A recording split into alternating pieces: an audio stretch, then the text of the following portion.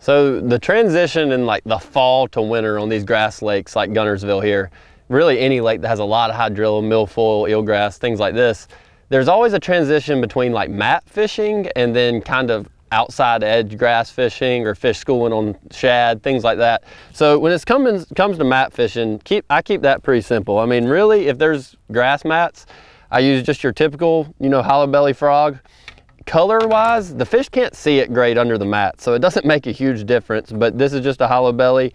And I usually, sometimes I throw a dark one, sometimes I throw a light one just for those little glimpses they get of it. I'll just kind of alternate back and forth. I'm a big believer in they'll bite whatever but they're hard to hook if you're not throwing the perfect color. They might kind of lose focus on it right when they try to get it.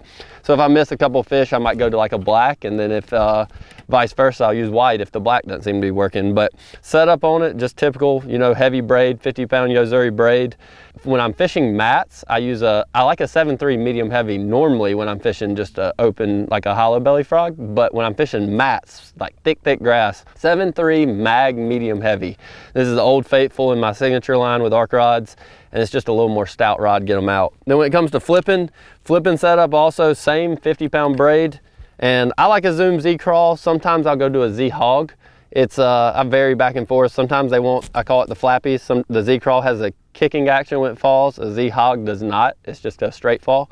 So I'll alternate back and forth. And weight wise, depending on how thick the grass is, if it's really thick, you might have to go up to an ounce and a quarter or an ounce. And then as it starts to die off and gets a little thinner, go down to like a three quarters maybe or something like that. So pretty simple setup. I got the Tharp series here, the Guntersville Special just a heavy flipping rod, 711. And uh, it's your typical flipping setup, but you're in kind of more hydrilla and milfoil, not like Okeechobee style mat. So you don't need that extra heavy like you would there. But that is kind of, you know, early to mid fall when the grass is still real thick. But as it starts breaking off, you get like more scattered grass and a lot of fish won't be under the mats because there's just not many of them. They start falling apart and the fish will get on that outside edge, more like your wintertime or pre-spawn grass fishing. When it comes to that, I always have a buzz bait until it gets too cold. This is a great bait for when it gets scattered and cover water. Once it gets down below 60, it's a little iffy, but uh, if the water, as long as it's still over 60, just uh, it's a greenfish tackle, toad toter buzz bait I designed with a horny toad on it. I throw a horny toad predominantly on a buzz bait, but in the fall it's even better because it allows you to reel a little bit slower as that water cools down. So it's a great bait to cover water, but still a slow enough retrieve to not uh, or those kind of cooler water bass can still get it. The uh, setup on this, same 50 pound Yo-Zuri uh, super braid. And the rod on this, I actually designed this rod specifically for our buzz bait. This is a 7-1 heavy buzz burner rod. It's a heavy action, but it's got a slower bend to it. So when you're when one gets your buzz bait, you don't pull it away from them. You got enough to get them out of the grass or out of wherever, but the fish, uh, they, they have a little taper to the tip to be able to get the bait. So that's, uh, that's kind of my reaction rod when it comes to that. But then as it gets colder, that top water, that stuff, there's no mats left and there's you know no top water fish to catch. Then I kind of keep it pretty simple. One of my favorite baits is a just a small crankbait. This is a Yo-Zuri 3DS SR. I'll alternate between the MR and the SR. This one goes about four feet, maybe five feet. And uh, it's a great bait for covering water. A lot of times in the fall, they're eating smaller bait. So it's a small finesse crankbait. And uh, it comes through the grass pretty well too. You want something you can snatch through that grass. A big bill tends to get hung up in it. So is a little small, it's kind of like a square bill, but a little small round bill. And uh, set up on that, I usually throw it on 12 to 14 pound test. You can actually vary your line size with these small crankbaits. Rather than changing putting a, you know, a shallower diving crankbait or a deeper diving, you could go from 10 to, let's say, anywhere from 10 to 16 pound test, and that'll vary the depth of that crankbait two to four feet. And uh, I like a, a small reel, it's MGX, it helps you throw the small crankbait pretty well. And I use my Century rod. Is actually a jerkbait rod. Designed it for jerkbait, but it's great for small crankbaits too. It's a 611 medium. It's in my Cobb series with Ark and it's a Century. So then the other two baits I use is uh, a Yo-Zuri Rattling Vibe.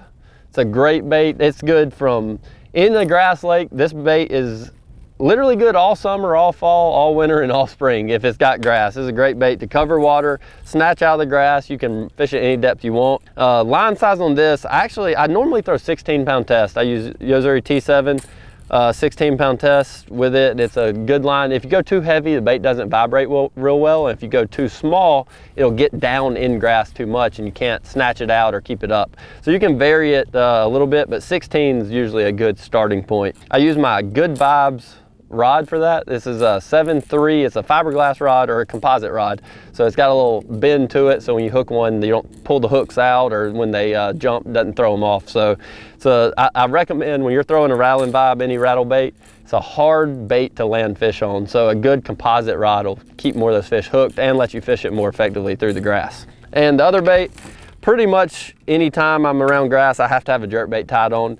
Jerk bait can be, it's a frustrating bait to fish in the grass sometime, but as it dies off in the fall and winter, it gets a little more sparse and it makes it easier to fish. You're trying to stay on the edge with it, but uh, as it gets a little more sparse, you can work it more effectively through it. It's got more gaps in it and it, uh, it, it's a good bait when it's a little tough. It's like a finesse presentation to target that grass. You can pause it some.